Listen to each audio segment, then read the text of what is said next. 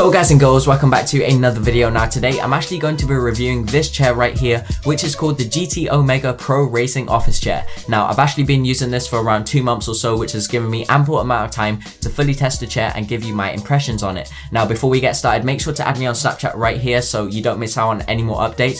And also use code SXVTech on screen right now for 5% off on this chair right here. And I will also leave it linked in the description below.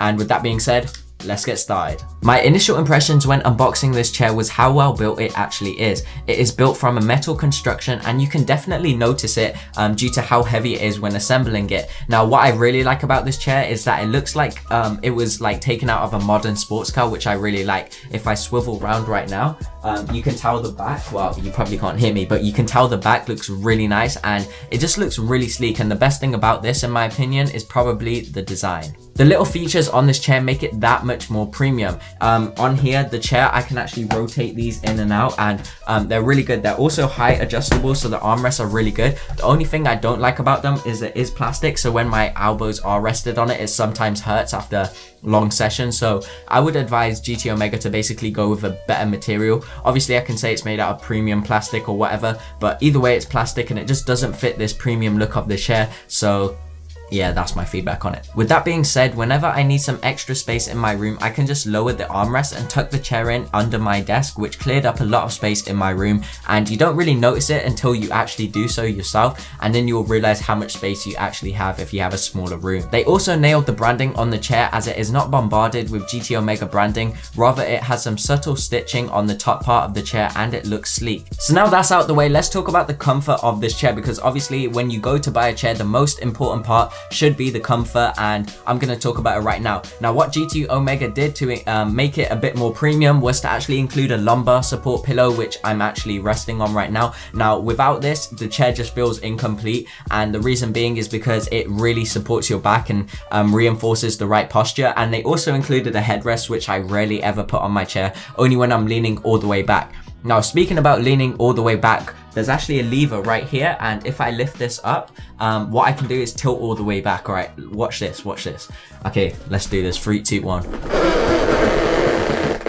And then I just put this lever up and then boom, I'm back and I'm ready to work on whatever I need to do. This is by far my favorite feature about this chair, um, just being able to just lean all the way back and then just instantly be able to just get back into the right posture. Now, I did say I'm going to talk about the comfort. So the comfort I don't know. It, in my opinion, like when I actually first got the chair, I thought it was going to be super, super cushiony, like memory foam or something like my old chair, which was very, um, it was very soft. But this is a more firmer chair. So when I actually go and sit on it, you can really feel that it, it, you don't sink into the chair. It's more of a firm, um, premium padding that it has going on, nothing like real leather or whatever. Um, so with that being said, I do feel that long sessions, it does actually hurt my back. Now, I don't know whether it's because of the lumbar support or anything like that, but when I obviously move it right here, I just don't think it gets me into the right posture. Now, um, I've seen a lot of people complain about gaming chairs, obviously not being suited for the right posture. I did actually try a DX Racer when I was at EGX, and that was more comfy than this, but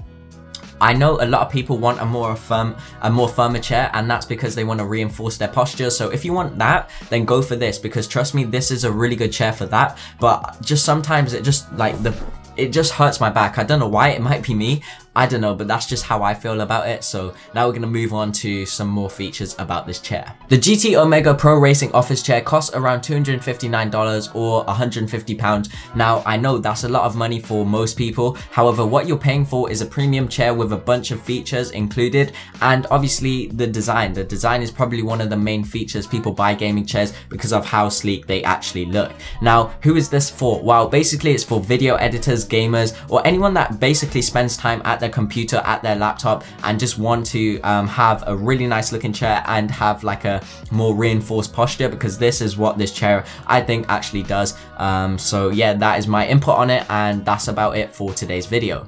Anyway guys, that was it for today's video. If you did enjoy the video, make sure to leave a massive thumbs up. And like I mentioned before, I will leave links in the description below to actually directly purchase this chair right here. Now, with that being said, comment down below hashtag pizza if you watched this far into the video. And yeah, that's about it. Oh, and also if you haven't already, make sure to follow me on Instagram right here. And that is pretty much it. And I'll be back soon with a channel update, um, maybe sometime in the week. So look forward to that. Anyway, guys, I'm Hamza from Super Extreme Video, and I'll talk to you lot in the next one. Laters, lads. Bye. Whoa, yo, I nearly fell off the chair. Good job, it's actually premium. Bye.